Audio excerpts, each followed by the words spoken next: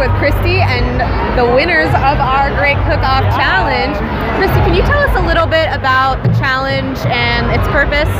Sure. So today we do the Great Cook-Off every year at Thingamajig. We have four teams that have a whole variety of foods to select from, and they have 40 minutes to cook.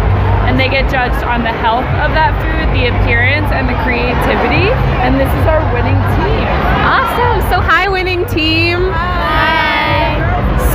what branch are you guys from?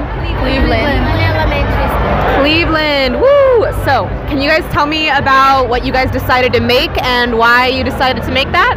We made pasta. Yeah, we decided to make pasta because, like, when we first got when we first got here, like we we didn't really know what we was gonna make,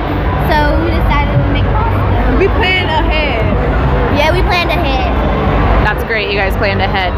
So, what was your guys' favorite part of the meal that you made? The pasta. Pasta.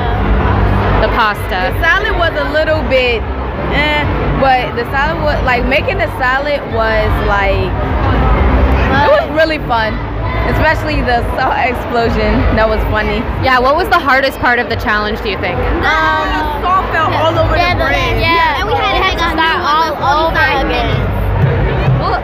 congratulations, you guys. I'm so excited for you that you guys won and it looked like you had a great time. We did. Awesome. Well, subscribe to Thingamajig TV and follow us on social media. Congrats again, guys. Thank you.